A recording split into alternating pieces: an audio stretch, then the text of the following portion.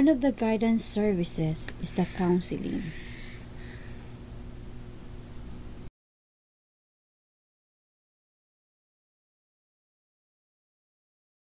I'm teacher Janice and I will be talking about counseling and psychological tests. But first, let's define what is counseling. It says there that counseling is a professional relationship that empowers diverse individuals, families, and groups to accomplish mental health, wellness, education, and career goals. So it means that when you're counseling, there is there should be a relationship because you're going to empower each one. You're going to empower a group, a family, or each individual. By what? To accomplish mental health, wellness, education, and career goals.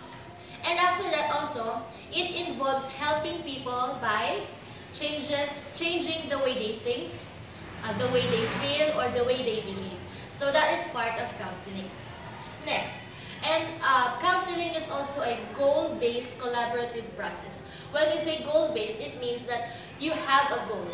You're not just asking a question just because you want it. You're not just throwing a question just because you know what you know you want to know about that person. But your goal is for you to really know the person and to really um, really encourage the, per the person to share her thoughts, what is on her mind, and how she or he feels. And another thing is plans necessary to accomplish this cause. There's also should, there should be a plan wherein you you're not just going to ask questions, but how are you going to throw questions? It can be what we call art of questioning because the way you uh, ask the question, it helps the person to really give his mind, give his thoughts, and whatever she feels or he feels. Now, there are five major goals. Let's first go to the behavior change. Behavior change is, talks about productive and satisfying life. Use specific goals rather than general ones. Goals should be measurable so the client can measure their progress. Just like what I said a while ago, that counseling is, your goal is to really know the behavior. It, counseling is helping the people or the person to change the way they behave. So that's where we go with the behavior change. Because a, a person who needs counsel, meaning um, that person has a problem, whether in in his life, the way he makes decision, or the way he or she behaves. So that's where behavior change takes place. Next, promote decision making. Most of the persons or the people that go to counseling or really needs counseling is that sometimes they're poor at decision making. So here in uh, promote decision making, it also in counseling, it helps them to really think what is right and what is wrong, to really, you know, the gravity of, oh, what is right, or this is the right thing to do, or this is the wrong thing to do, or am I in the right path, am I, am I in the path that it leads me to the right decision. So that's how counseling. Next, facilitates client potential. Improving personal effectiveness, learning to use abilities and interests to one's potential, emphasis on whole wellness. Emotional, spiritual, physical, mental, aid them in realizing their potential. Because sometimes a person really um, think of themselves like they don't, they're not, they have, they don't have that capability to, to do things, or sometimes they compare themselves to other people. That's why those are people or person that really needs counseling. They need someone to talk to. They need someone who can um, feel them that they understand, that, that the counselor really understands them. So it facilitates client potential, meaning you really mold the person into someone who really he or she is. Because sometimes when you have a problem, right, sometimes you thought that, oh, I think this is not me, I think I cannot do that. You, you forget the things that you know you can. Sometimes you think ah, I cannot do that. But no, you know that in the end, you can do that. It's just that you really have to mold each person's potential. Next, enhance, enhancing coping skills. Helping individuals to cope with new situations and challenges. Because some persons, whenever uh, they have their new at their work, sometimes they cannot cope easily they're, they're having a hard time to really um, jive with one another, jive with their co-workmates, or sometimes with the workloads. Sometimes they feel like, I'm so stressed, they feel like um, they cannot do it until next year, and, until the end of the school year. They just, you know, just, but sometimes they want to be alone. And the five major goals of counseling is that they need to enhance their coping skills, wherein they're going to overcome each trials, each challenges, or each um, new things or new situation that, that is coming in. And last is improving relationships. Becoming more effective in interpersonal relationships. Because sometimes people might want to be alone, might want to be just on the corner. They don't want to really speak themselves because sometimes they feel like they cannot. They feel like um, they're not um, enough or their words or their thoughts is not enough to make conversation with other people. So one major goal of uh, counseling is that to improve relationship wherein they will they they will learn to really talk to one another. They will they will learn to have relationship with one another, be friends with other people, even though they don't know each other. So that's it.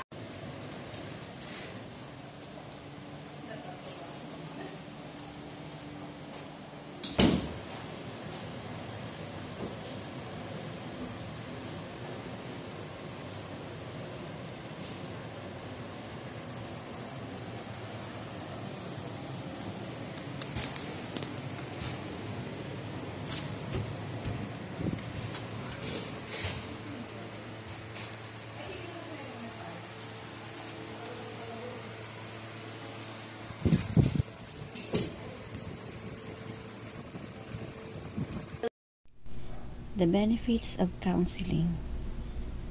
Increased self awareness, increased sense of well being,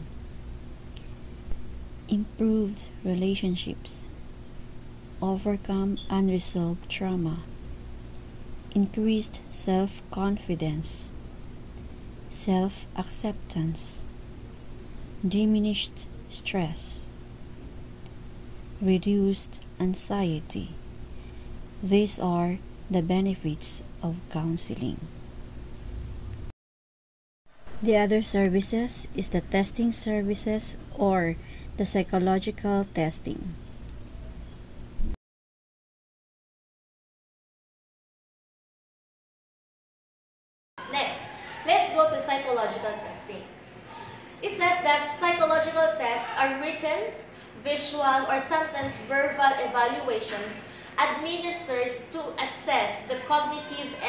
Emotional functioning of children and adults.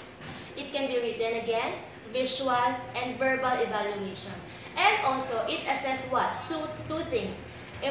Cognitive and emotional functioning of children and adults. So meaning, psychological test is for children and adults also. And the purpose of psychological testing is that used to assess a variety of mental abilities and attributes including achievement and ability, personality, and neurological functioning. So here in psychological test, we will assess or we will measure the mental ability of a person. It can be written or visual or what we can say is that the um, verbal evaluation. Now, let's, have, let's now go to the kinds of psychological tests. We have achievement and ability test. Here, in achievement ability test is that it's designed to measure the level of child's intellectual functioning and cognitive ability. Meaning, in achievement and ability test, it measures what level is this child, what, what uh, level is this adult in. Just for example, for example, I am 26 years old, but my level of cognitive is for high school. So there we can see in this test, so what level is he or she in?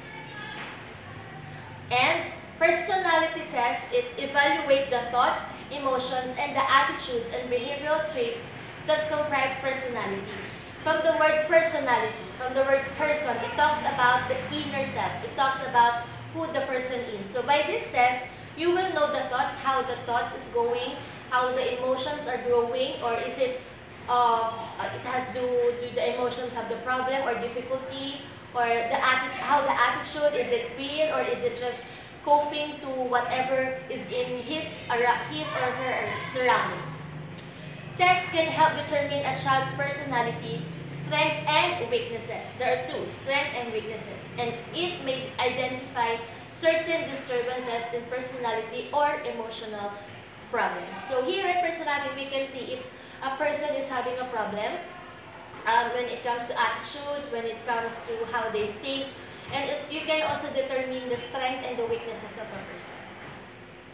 And next is the neuropsychological test. From the word neuro, it talks about the mind. It talks about how people or how a person thinks. Children and adolescents who have experienced a traumatic brain injury, brain damage, or other organic neurological problems. To assess their level of function and identify areas of mental impairment, evaluate the progress of a patient who has undergone treatment or rehabilitation for a neurological injury or illness. It's sometimes because, for example, a person has undergo uh, neurological uh, neurological damage or it has experienced a traumatic brain injury. Sometimes you have to test if that person is really thinking well or the way he thinks or she thinks is the same or not, or it also assess the level of functioning of that person. It also measure may be used to screen children for developmental delays and or learning disabilities. And by this neuropsychological, you can know if a person has as a brain damage or other organic neurological problems.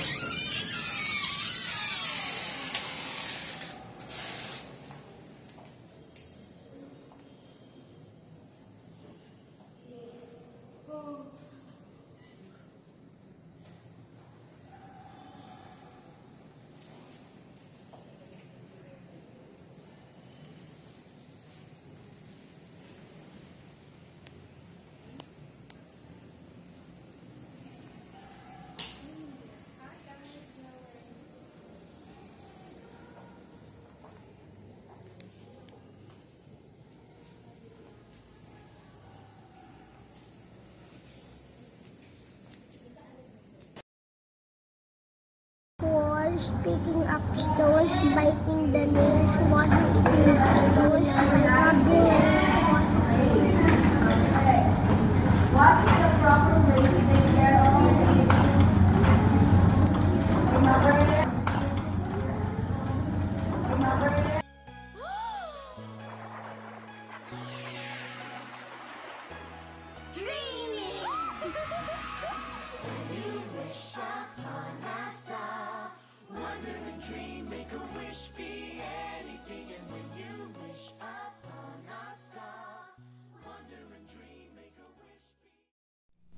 The benefits of psychological testing. Assess potential academic results, increase the success of your students, improve engagement with the school and motivation, know your students better, enhance the quality of your students' destinations gain value added support for your college and university applications. These are the benefits of psychological tests.